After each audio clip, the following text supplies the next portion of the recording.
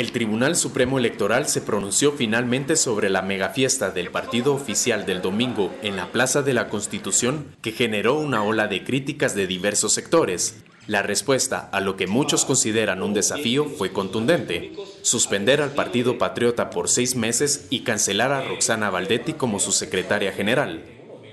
Acuerda, uno, suspender temporalmente al partido político Partido Patriota, entre paréntesis, PP, por un plazo máximo de seis meses sin prejuicio.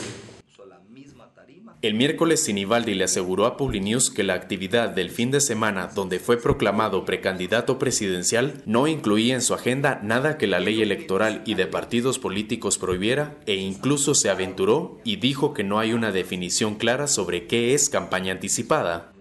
Horas después de las declaraciones del político, la máxima autoridad electoral convocó a una conferencia de prensa donde dio lectura punto a punto de cómo el patriota transgredió varias prohibiciones por estar fuera del periodo establecido para realizar campaña electoral, lo que los llevó a tomar la decisión de suspender al partido de toda actividad política.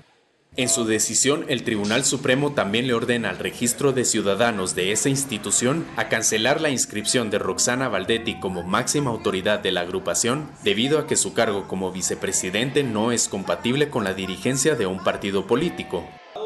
Sobre ese tema, el vocero del TSE, Julio Ochoa, aseguró que la ley establece que cualquier persona que ocupe un puesto público tiene vedado favorecer a agrupación política alguna.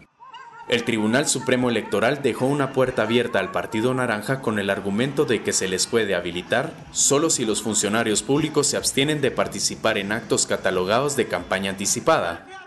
Esta es la segunda suspensión al partido de gobierno en menos de cuatro meses. Publinews, lo más importante de las noticias. Un diario internacional de Metro y del Grupo Emisoras Unidas, 50 años.